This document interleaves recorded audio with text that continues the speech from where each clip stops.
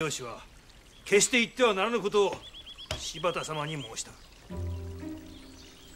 織田家筆頭の柴田権六様に権六は臆病風に吹かれて上杉謙信に当たれず。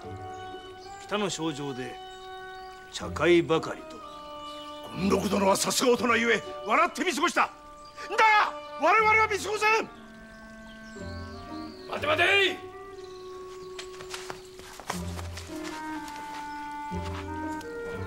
なんだそのたきりは静まれ。我が家での狼藉は許さんぞ。猿は猿はどこだ。渡里現場。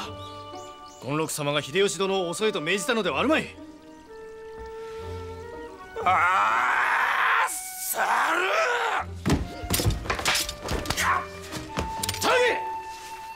一歩でも上がった者は切る。よいか。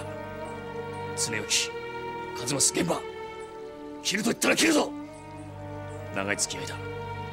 このわしの顔を見たら冗談か本気か解くと分かるであろう。内股豪役め何？権六様にくっついたり猿にくっついたり一体どちらの味方なのだ？現場？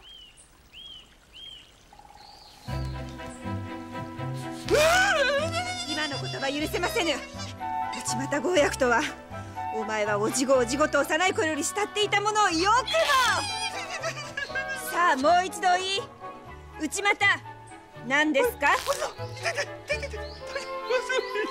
現